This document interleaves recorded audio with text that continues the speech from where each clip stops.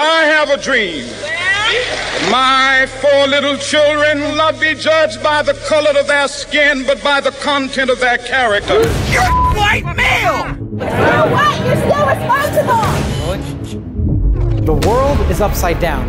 I thought the whole idea was to not judge people by their skin color. That's what racism used to mean. I can no longer teach contemporary moral problem. Anything that involved issues of race and gender seems to me a minefield. Racism's been redefined. Sexism's been redefined. Up. This is this is all through the culture. And if we can't talk, what's left? I'm not a Nazi. Why are we not taught the historical consequences of those who viewed the world through optics of groups that have power and groups that don't? Is this not the central problem of our time?